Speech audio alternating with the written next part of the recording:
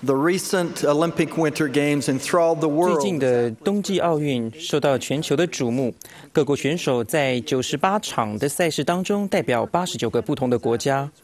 值得一提的是，有十位运动员是耶稣基督后期圣徒教会的成员，其中克里斯多夫·佛格、诺伊尔·派克佩斯和朵拉·布莱特这三位赢得了奖牌，并在最近登上了教会新闻。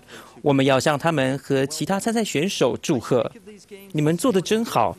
我今天上午提到这些比赛，使我想起男青年、女青年和年轻单身成人，你们正处在决定人生方向的关键时期。我深感迫切要对你们演讲。为了让你们有迫切感，我首先要分享诺伊尔·派克佩斯的故事。他是其中一位后期圣徒的运动员。诺伊尔的参赛项目是空架雪橇。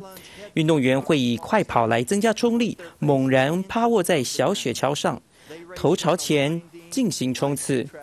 趴卧的选手连离地不过几英寸，要在弯曲结冰的赛道上俯冲滑行，时速最高可达一百四十五公里。值得注意的是，只看四段六十秒钟的激烈赛况，就能断定多年来训练和调整究竟是成功了还是失败了。伊诺尔在2006年的奥运发生严重的意外，摔断了腿，奥林匹克的梦想也随之破灭。2010年的奥运中，他以0.1秒之差再度与夺牌的梦擦身而过。你能想象他参加2014年冬季奥运要开始第一场比赛时的焦虑心情吗？多年的准备要在短暂的时间里全力发挥到极致，时间只有四分钟。但他花了好几年来准备那四分钟，而且将花一辈子来回想这四分钟。诺伊尔最后的几回合几乎无懈可击，我们永远忘不了他在穿越终点线后跳进看台拥抱他的家人，大喊：“我们做到了！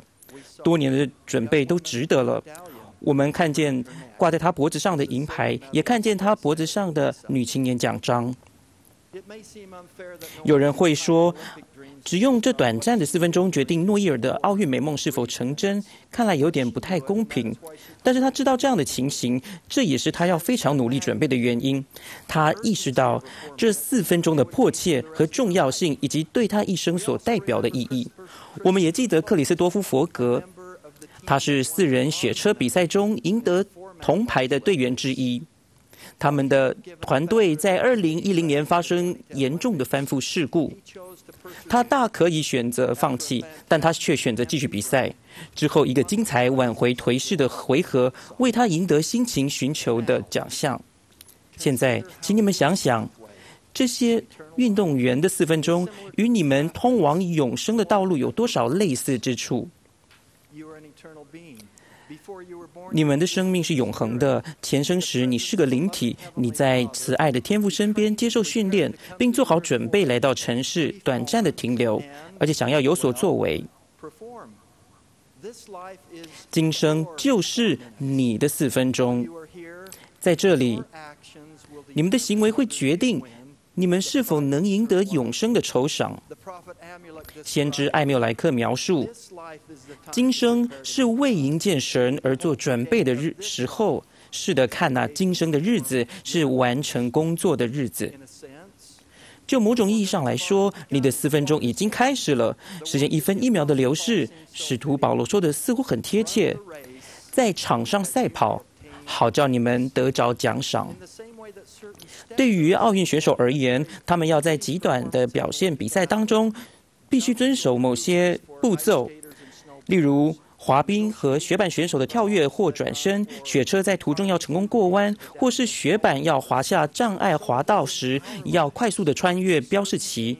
我们的生活也是如此，有些事物是绝对必要的，而我们在城市中的灵性表现需要通过一些关卡。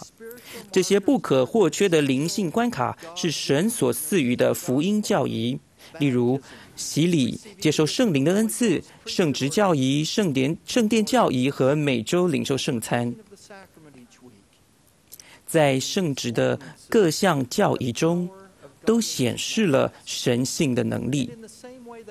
有纪律的训练能让运动员做好准备，让他们在比赛的各方面达到最高的水平。同样的道理，遵守神的诫命，会让你有资格执行这些救恩的教义。你是否有迫切感呢？年轻的朋友们，无论你们在这四分钟的表现的哪个阶段，我敦促你们要沉思：我下一步要怎么做才能确保赢得奖牌？或许在这次大会期间，圣灵已经向您低语该做什么。比方说，呃，要再三思量，去为将来要接受或以前早该接受的教义做好准备。无论你受敦促的事情是什么，要立刻行动，现在就去做，不要等待。你的四分钟很快就会流逝，而你会在永恒中回想今生做过的事情。自律是必要的。你的基础训练必须包括每天祈祷、研读经文，并出席教会聚会。你需要培养服从诫命的习惯，遵守你所立的圣约，并遵守在巩固青年小册子中提到的主的标准。也许你察觉到你生活中的某些事物正威胁着你。让你灵性的进步慢下来或停滞不前。如果是这样，请遵从保罗的忠告，就当放下各样的重担，脱去容易缠累我们的罪，存心忍耐，奔那摆在我们前头的路程。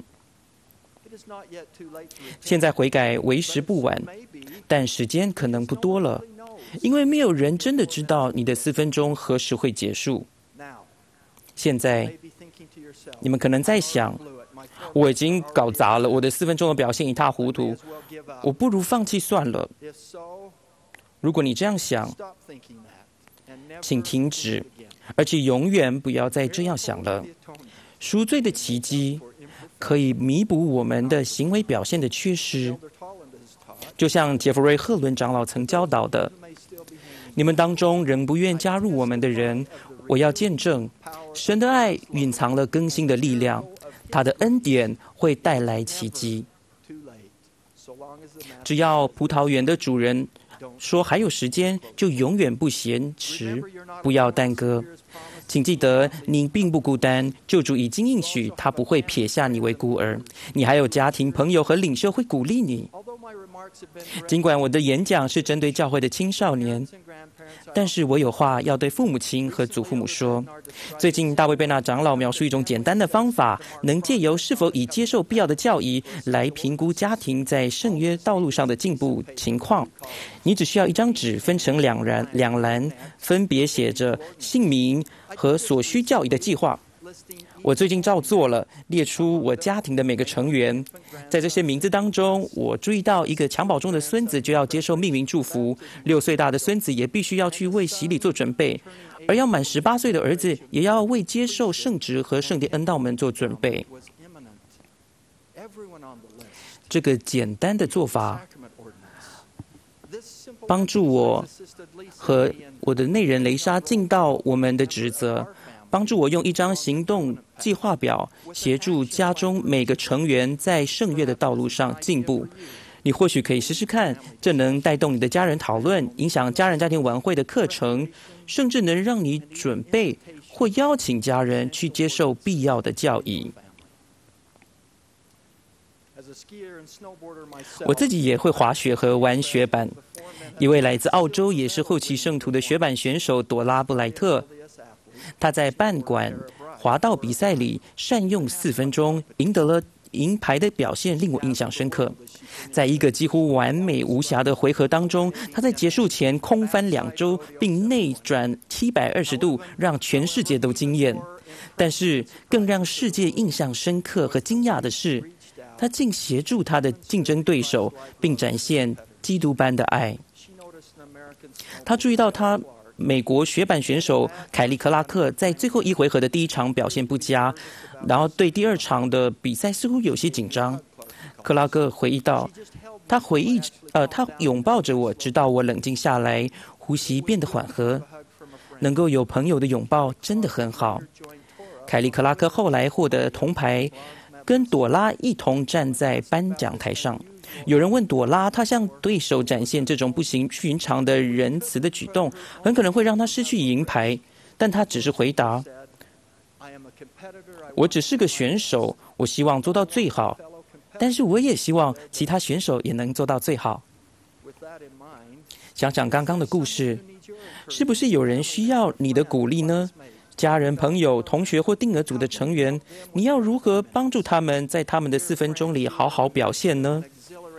亲爱的朋友们，你们正在一段令人兴奋不已的旅途上。在某些方面，你们就像在半管滑道或雪橇赛道中前进，要完成每个动作和顺畅的通过每个弯道，这些都可能充满挑战。但要记得，你已为此也为千禧年做准备。这是你们大展身手的时刻，这是你的四分钟，就是现在。我想告诉你们，我对你们的能力深具信心。你们有世界的救主支持你们。如果你们向他求助并遵从他的指示，你们怎么可能会失败呢？最后，我要见证，我们蒙福有活着的先知多马孟孙会长，也证证也见证有耶稣基督作为我们救主和救赎主。奉耶稣基督的圣名，阿门。